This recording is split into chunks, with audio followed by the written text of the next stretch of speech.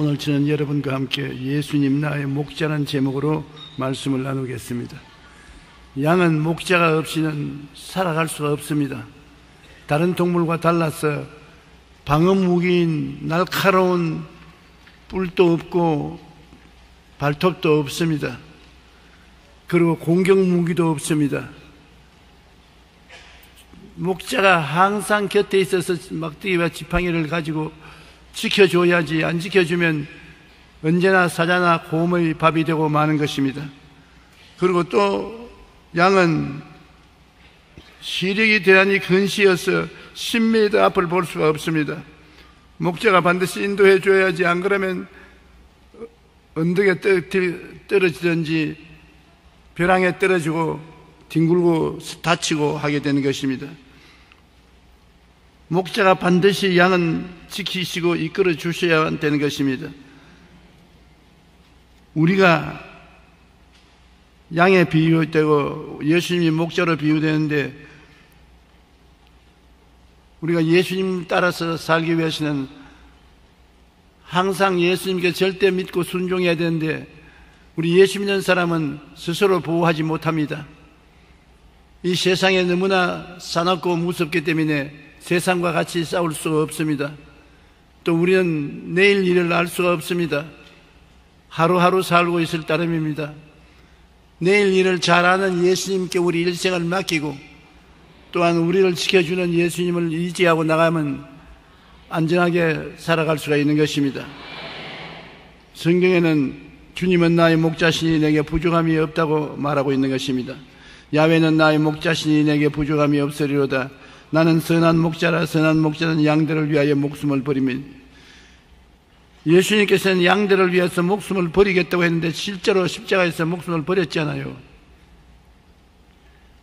양들을 사랑하는 것은 말만 사랑하는 것이 아니라 몸을 찢어 주시고 피를 흘려 주시기까지 사랑하는 것입니다.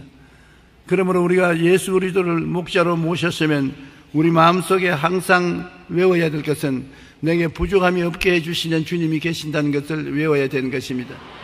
우리가 잘나서 그런 것이 아니라 주님이 선한 목자로서 우리를 돌보시기 때문에 우리는 부족함이 없는 삶을 살게 되어 있는 것입니다. 주님은 우리를 부족한 대로 내버려 놓지를 않기 때문에 항상 긍정적이고 적극적인 생각을 가지고 주님께서 우리에게 있게 해주시는 것을 기대해야 되는 것입니다. 우리 예수 믿는 사람은 생각이 긍정적이 돼야 되고 꿈이 긍정적이 돼야 되고 믿음이 있어야 되고 입술로 긍정적으로 고백해야 되기 때문에 없는 것도 있다고 생각해야 되는 것입니다. 왜냐하면 주님께서 우리를 위해서 예배해 주시기 때문에 선한 목자가 있으므로 없는 것도 있다고 생각하고 우리가 하나님이 충분히 있는 것을 공급해 주는 꿈을 꾸고 믿고 입술로 나는 가지고 있다 축복받았다 나는 모든 것이 풍족하다. 부족함이 없다고 긍정적으로 말을 해야 되는 것입니다. 우리 목자 대신 예수님이 그런 양들을 돌보시는 것입니다. 우리는 어떻게든지 태어날 때부터 없는 것을 생각하고 말하고 행동하게 되어 있는 것입니다. 무엇인지 없습니다. 힘도 없다, 능력도 없다, 건강도 없다, 청춘도 없다, 돈도 없다, 집도 없다, 남편도 없다, 아내도 없다, 자식도 없다. 전부 없는 것만 바라보고 없는 것을 생각하고 없는 것을 꿈꾸고 없는 것을 믿고 없는 것을 입으로 말하고 사는데 그러면 언제나 없는 삶을 살게 되는 것입니다. 그러나 우리는 항상 우리 목자가 있기 때문에 있다고 늘 생각하고 목자가 계시기 때문에 있는 것을 꿈꾸고 목자가 계시기 때문에 있게 만들어 줄 줄 믿고 목자가 계시기 때문에 나는 모든 부족함이 없게 된다고 입으로 시인하면 그러한 사람에게 목자는 부족함이 없도록 돌보아 주시는 것입니다.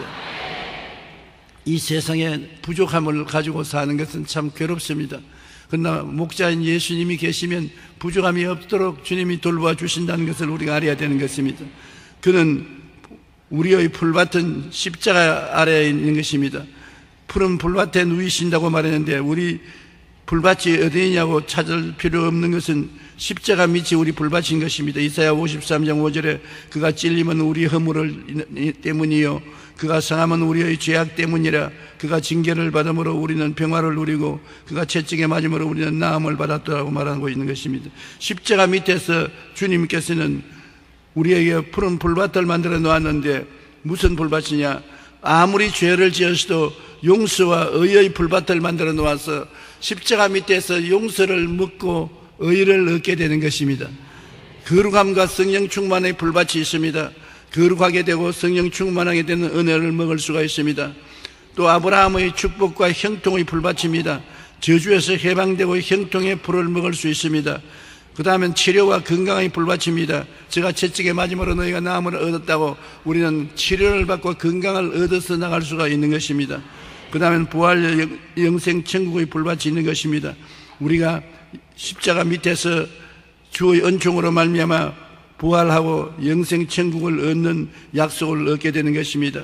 여러분 우리는 어느 곳에 가든지 세상 사람이 모르는 푸른 불밭이 있는 것입니다. 세상 사람은 알 수가 없어요. 십자가도 모르고 예수도 모르기 때문에 어디에 무슨 불밭이 있는지 모릅니다. 그러나 여러분은 항상 주님께서 예비한 불밭이 있는 것을 알아야 되는 것입니다. 용서받고 의롭게 된 불밭이 있어요. 거룩하고 성령 충만한 불밭이 있어요. 저주에서 해방되고 아브라함의 복을 받은 불밭이 있어요. 치료받고 건강을 얻는 불밭이 있어요.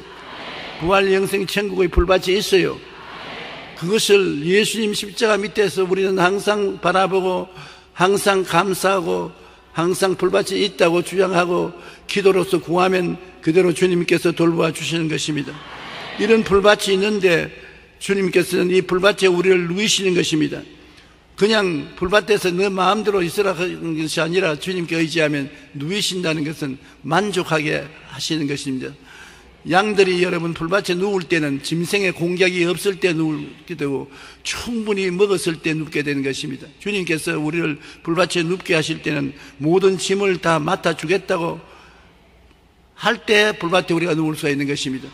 수가가 무거운 짐을 잔뜩 지고 있는데 어디에 누워서 빈둥빈둥 놓을 수가 있습니까? 주님께서 우리의 짐을 다 맡아 주실 때 우리는 불밭에 누울 수가 있는 것입니다. 주님은 말씀하기를 수고하고 무거운 짐진 자들아 다 내게로 오라 내가 너희를 쉬게 하리라고 말씀하시는데 주님께 항상 무거운 짐을 맡겨야 되는 것입니다.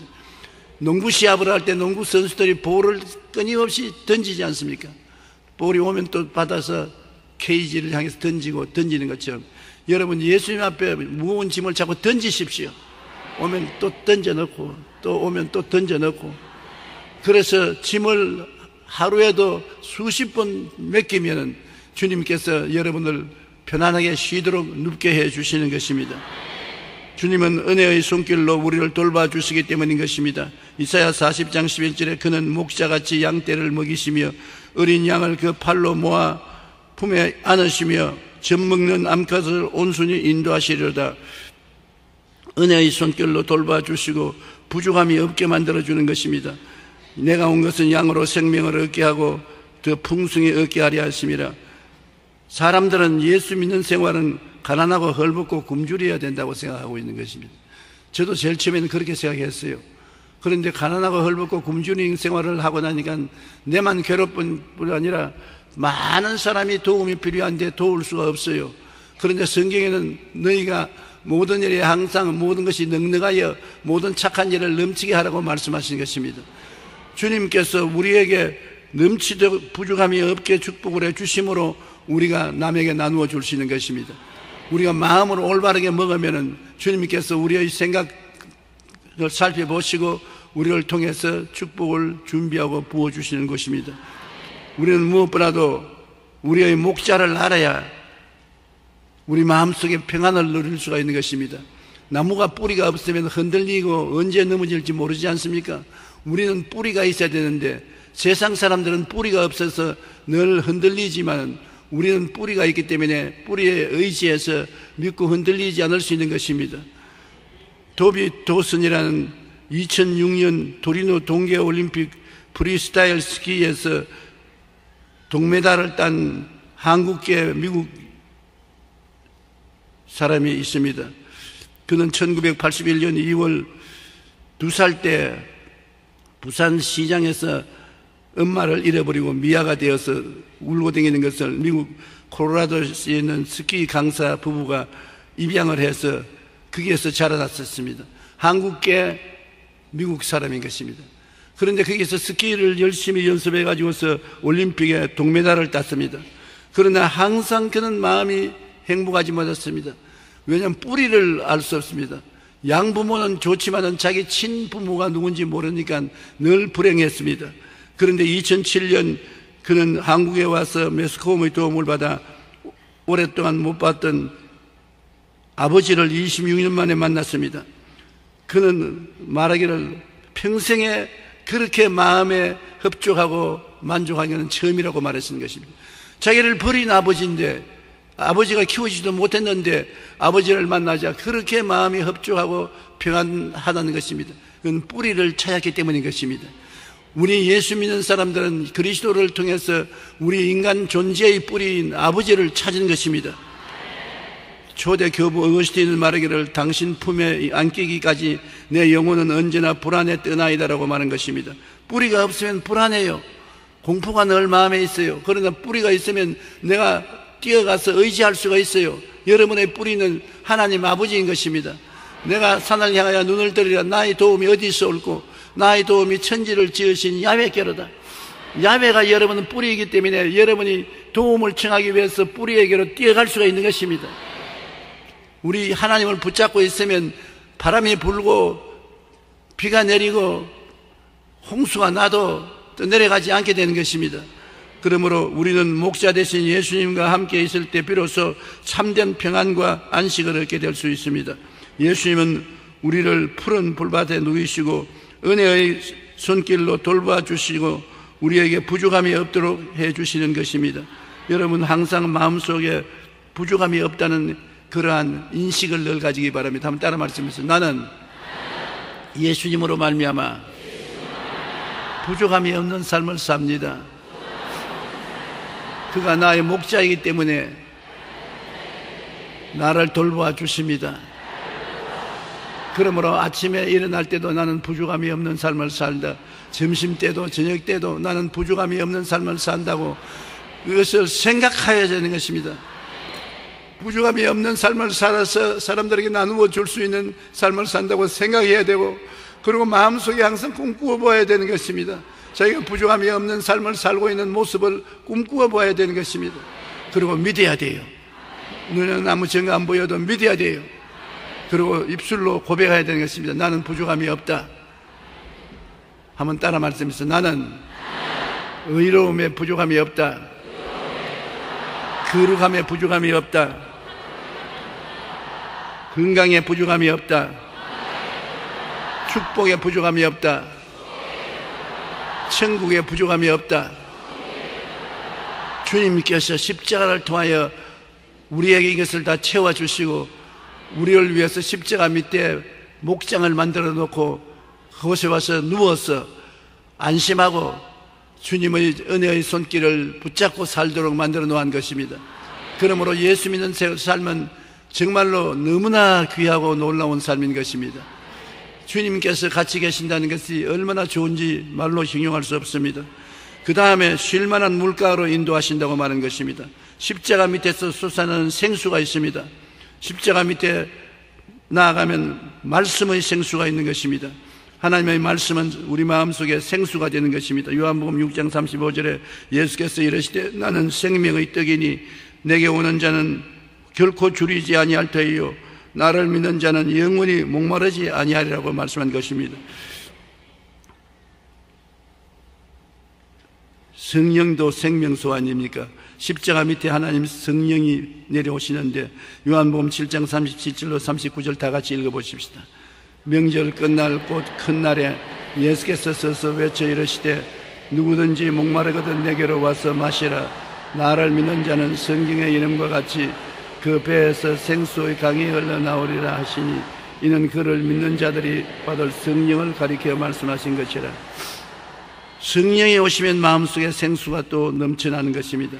요한계시록 22장 17절에 성령이 성령과 신부가 말씀하기를 오라 하는도다. 듣는 자도 오라 할 것이요 목마른 자도 올 것이요 또 원하는 자는 값없이 생명수를 받으라 하시더라 여러분 목마르다는 것은 참 고통스럽습니다 저녁에 홀로 앉아 있을 때 마음에 버림받은 심정 마음의 고독 염려 근심 불안 초조 절망 공포가 마음을 휘돌아갈 때 마음 깊이 의지할 곳 없는 슬픔이 강물처럼 흐를 때가 많습니다.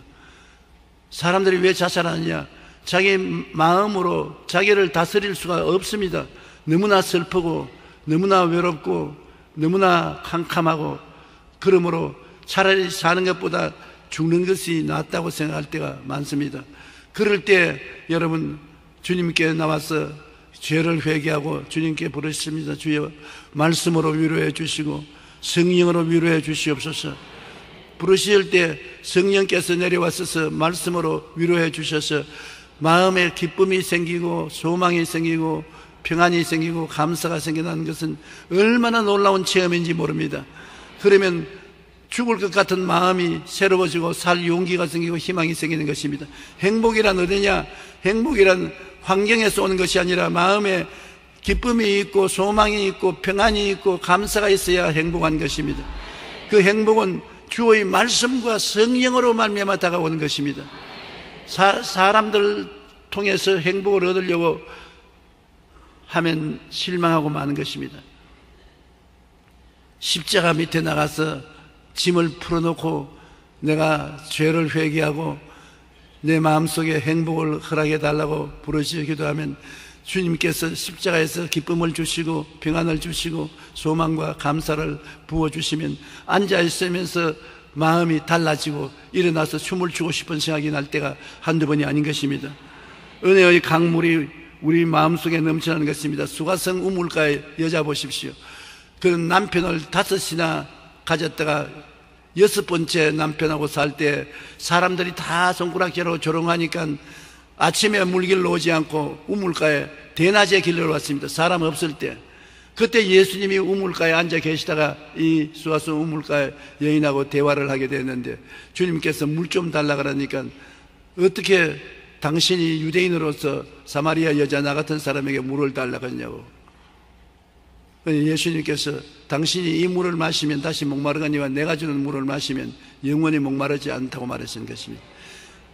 이 사마리아 여인은 인생의 삶의 행복을 추구하는 간절한 열망을 가진 여자로서 남편을 다섯이나 갈아 제끼고 여섯 번째 살 정도 같으면 보통 여자가 아닙니다. 그래서 예수님이 말하기를 네 남편 데려오느라 하니까 남편이 없습니다. 네 말 맞았다. 네가 남편 다섯이나 있었는데 다 차 뿌리고 여섯 번째는 남편 아닌 오다 가다 만난 남자 데리고 있, 다 그래가지고서 너 마음속에 외로움과 고독하고 슬픔과 좌절과 절망을 가지고 있는 것이다.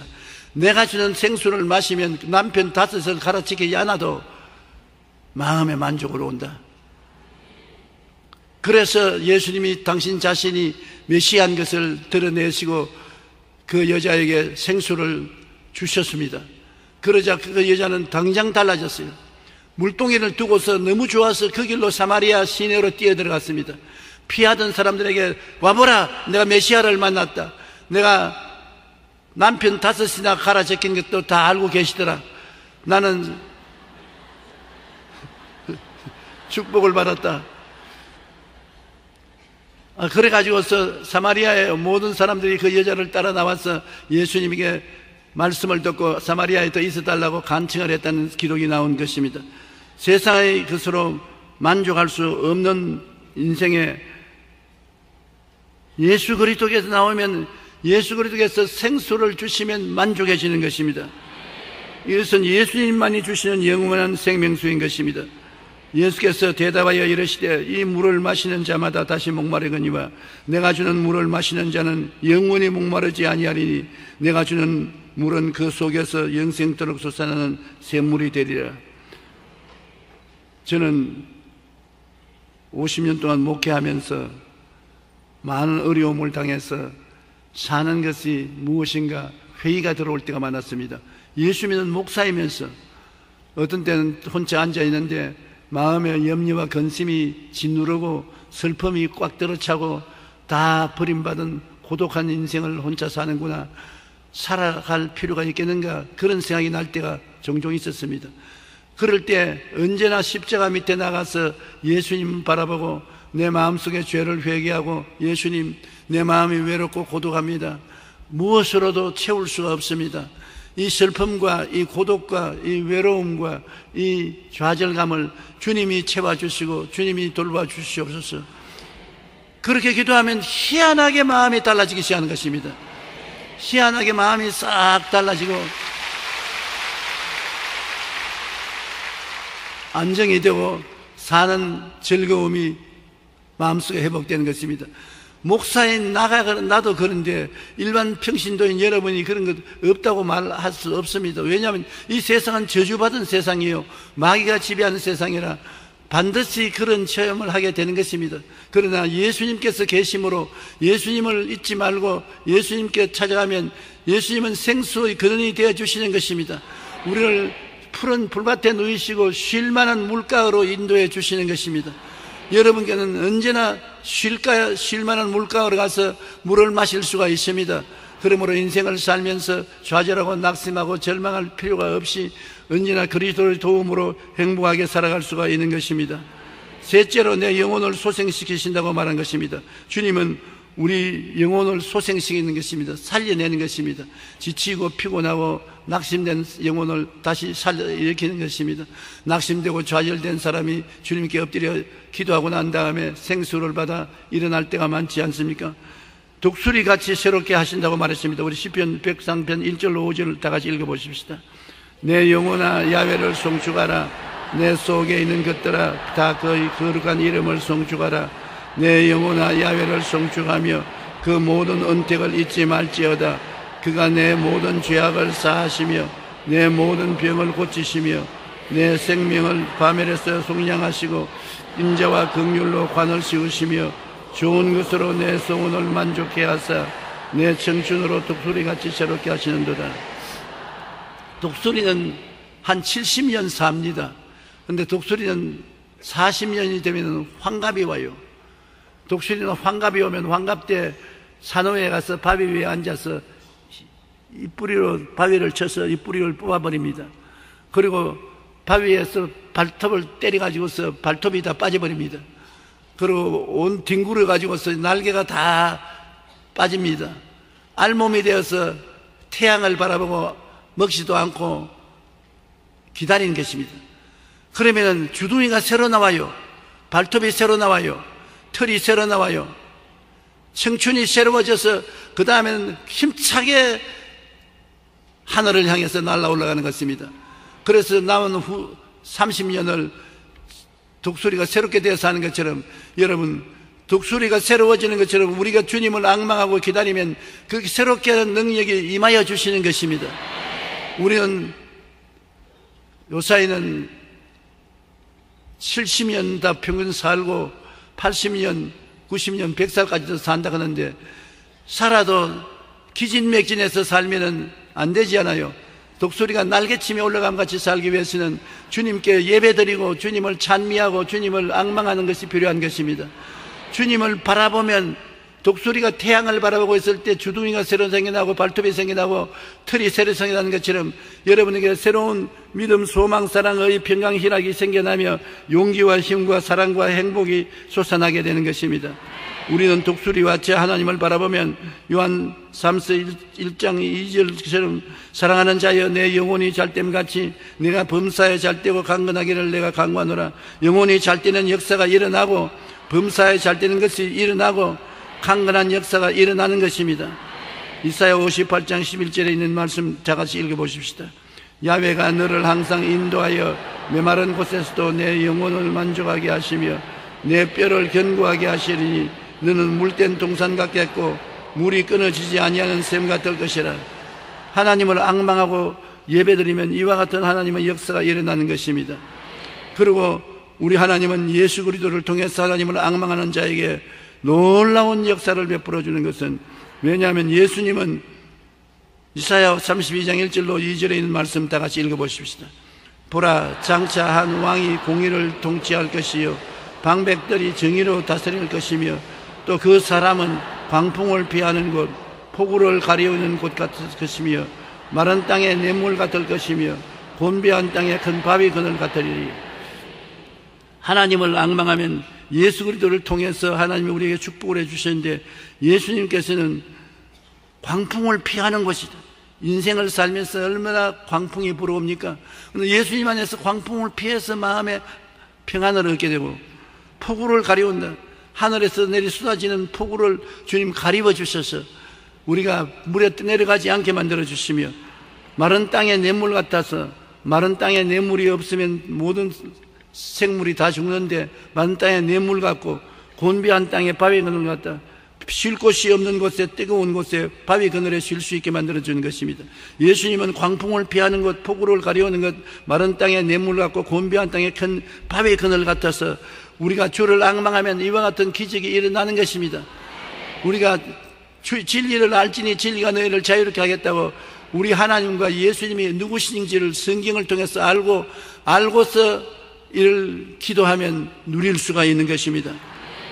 우리는 예수님 설하에서 내 영혼이 새로워져서 하늘로 날아 올라갈 수 있는 것입니다. 주님께서는 자기 이름을 위해서 우리를 의의 길로 인도하신다는 것입니다. 의라는 것은 죄를 용서하고 우리를 하나님 앞에서 올바르게 살게 만들어주는 힘인 것입니다. 예수님은 보혈로 우리를 죄에서 해방시켜 주시고 의의 선물을 주셔서 죄를 지은 적이 없는 것처럼 만들어 주시는 것입니다. 우리는 의의 선물을 받아서 하나님 앞에 부끄럼 없이 설 수 있는 자격을 얻게 되는 것입니다. 로마서 5장 8절로 10절에 우리가 아직 죄인 되었을 때 그리스도께서 우리를 위하여 죽으심으로 하나님께서 우리에 대한 자기의 사랑을 사랑을 확증하신다니라. 그러면 이제 우리가 그의 피로 말미암아 의롭다 하심을 받았으니 더욱 그로 말미암아 진노하심에서 구원을 받을 것이니 곧 우리가 원수 되었을 때 그의 아들의 죽으심으로 말미암아 하나님과 화목하게 되었은즉 화목하게 된 자로서 더욱 그의 살아나심으로 말미암아 구원을 받을 것이니라. 죄를 짓고 불의하고 추악한 우리들이 어떻게 살겠습니까? 주님께서 직접 우리를 의롭게 만들어 주시고 의의 길로 이끌어 주시는 것입니다. 우리가 하루하루 살아갈 동안에 죄를 이기고 살아갈 수 있는 힘은 예수님이 성령으로 우리에게 역사해 주어서 되는 것입니다. 우리 마음속에 죄를 멀리할 수 있는 용기와 힘도 주시고 죄와 끈을 끊을 수 있는 힘도 예수님이 성령으로 우리에게 주시는 것입니다. 예수님이 우리의 목자이기 때문에 우리는 우리 힘으로는 안 됩니다. 목자가 우리를 도와주셔야만 되는 것입니다. 우리는 외롭지 않습니다. 예수가 없으면 이 세상에 아무리 집이나 명예나 권세나 부귀나 영화나 돈이 있어도 외롭습니다. 가장 큰 이 세상의 고통 중에 하나가 외로움인 것입니다. 부자는 부자대로 외롭고 권세 있는 자는 권세 있는 자대로 외롭고 사람들은 다 우리의 손가락질하고 정지할지라도 주님은 말씀합니다. 나는 너를 정지하지 아니한다. 다시는 죄를 짓지 말라. 그듭그듭 용서하시고 제2의 기회를 주시는 것입니다. 주님은 죽으셨다 부활하셔서 영원하신 하나님께서 목자가 되셔서 우리와 같이 계십니다. 주님이 우리와 함께 계심으로 우리를 늘 푸른 초장에 눕게 하셔서 무엇을 먹을까, 무엇을 입을까, 무엇을 마실까 염려하지 않습니다. 정말로 염려할 필요가 없는 것은 주님이 살아 계시기 때문에 아예 주님께 한번 의지해 보십시오. 죽을까 싶어 겁을 내서 의지를 못하는데 죽으면 죽겠다고 하고 맡겨버리면 주님이 돌봐주시는 것입니다.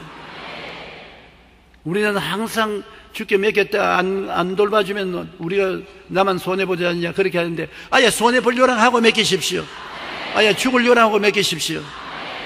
옛날에 내가 어릴 때 우리 아버지가 마루 끝에 서 있는 나를 보고 용기야 뛰어라 뛰어라 내가 안아주마 내 생각에는 아버지가 안 안아주면 나는 떨어져서 박살날 것이라. 그래, 내가 못해. 아버지를 몰라, 안 믿어나? 아버지가 널 사랑하는 걸 알지. 그러므로 뛰어라. 그래서 내가 우리 아버지 보고, 아버지 내가 뛴다. 하나, 둘, 하나, 둘. 아, 못해. 내가 안아줄 테니까 뛰어라. 하나, 둘, 하나, 둘. 아유, 난 겁이 나서 못해. 아버지가 나중에 화를 내십니다. 내가 너희 아버지인 것을 모르느냐? 뛰어라. 그래서 나중에 눈 딱 감고 죽기 아니면 살기로 각오를 하고 뛰었으니까 아버지가 덥석 받아주더라고요. 한번 받아주니까 그 다음에는 아버지만 얼렁거리면 아버지는 뛴다, 뛴다. 아버지가 뛰어와서 안아주는 것입니다. 여러분, 예수를 믿는 사람들은 예수님께 어떻게 믿느냐? 죽기 아니면 살기로 믿어야 되는 것입니다.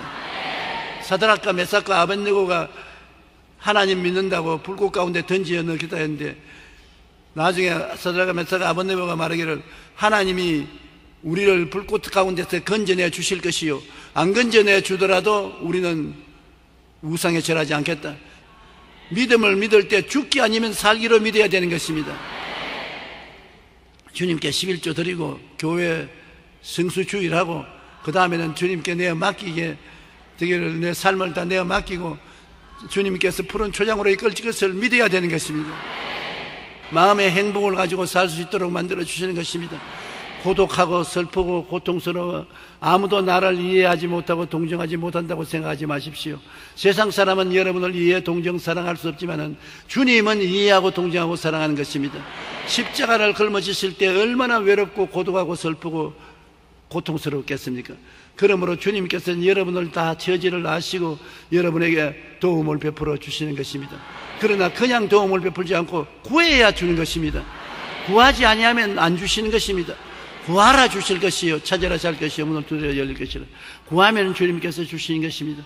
그러므로 항상 여러분은 주님이 목자 되신 것을 마음속에 생각하고 목자가 여러분을 이끌어가는 것을 꿈꾸고 믿고 입술로 시인을 해서 시편 23편을 늘 외우십시오.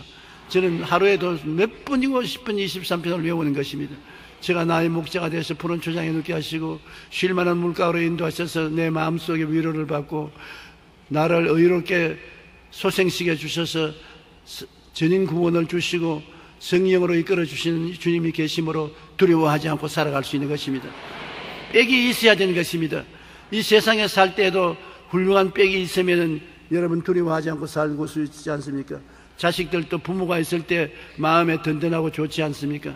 그와 같이 이 세상 살에도 연줄이 있어서 사람들은 대학교나 고향이나 시족사회에 줄을 잡으려고 애를 쓰는데 우리에게 제일 좋은 줄은 예수님이신 것입니다. 예수님은 우리 위해서 십자가를 걸머지신 사랑하는 주님이시고 예수님은 아버지의 아들로서 우리를 동생들로 만들기 위해서 오신 것입니다. 하나님은 예수 그리스도를 맏아들로 삼기 위해서 이때 이 땅에 보내시고 여러분과 나를 다 예수님의 동생으로 삼으신 것입니다. 우리는 예수님과 똑같이 구원을 받고 예수님과 같이 하늘나라에 올라가서 살 사람들인 것입니다.